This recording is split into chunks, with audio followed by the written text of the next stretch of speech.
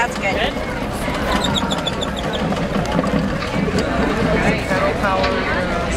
Ooh, I like that one, Lee.